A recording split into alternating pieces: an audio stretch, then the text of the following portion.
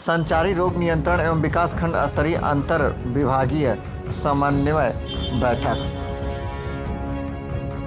इकतीस जुलाई 2023 तक मनाया जा रहा है, जिसमें संचारी रोग नियंत्रण अभियान एक जुलाई से इकतीस जुलाई तथा दस्तक अभियान बारह जुलाई से पच्चीस जुलाई तक शासन स्तर से मनाए जाने का निर्णय लिया गया है। ये हमारे स्वास्थ्य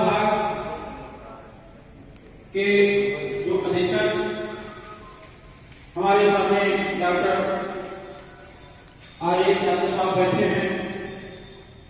आप नोडल अधिकारी को रहेंगे। लेकिन ये समन्वय बैठक आयोजित की गई अंतर विभागीय जिसमें हमारे कई विभाग सहयोगी है, जो सहयोग करेंगे, सभी का अलग अलग दायित्व है।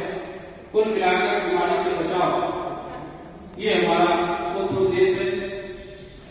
सच्चाई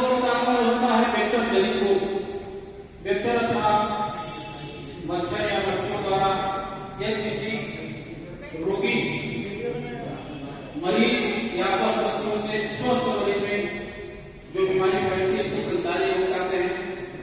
आप जानते हैं, जब जल जमा हो जाता है, पहले वो साफ़ पानी होता है उसमें मच्छर बैठता है जिसको एडीज कहा जाता है। एडीज मच्छर जब काटता है तो बहुत ही भयंकर बीमारी पैदा होती है, उसको डेंगू कहा जाता है। साथ ही साथ वो पानी जब गंदा हो जाता है। तो एक दूसरा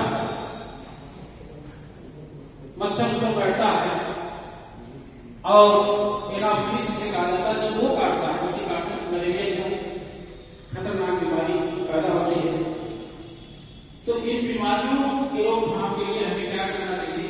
वही आज के वर्ग में चर्चा की जाएगी। साथ ही साथ जो दिमागी बीमारी है इंसेफ्लाइटिस ये ऐसी बीमारी है कि ये हो जाने पर बच्चे या बुज़ुर्ग जिसमें भी हो जाती है, वो दिमागी रूप से विकलांग हो जाता है या तो मृत्यु प्राप्त हो जाता है। मैं ऐसा इसलिए कह रहा हूँ, अभी आपको बता रहा था कुछ दिन पहले दो साल पहले मेडिकल कॉलेज गोरखपुर या गोरखपुर साइड ऐसा निर्णय लिया कि उस पर अच्छी तरह से पहले ही रोकथाम की गई और ये बीमारी व्यापक रूप भयानक रूप नहीं ले पाई पिछले साल आपने देखा होगा जबकि बरसात बहुत हुई थी, लेकिन इस तरह का कोई रोगी बड़े पैमाने पर हमारे सामने नहीं आया तो संक्रामक के मलेरिया, डेंगू, चिकनगुनिया दिमागी बुखार, ये सब वो आते हैं। और उसी के संदर्भ में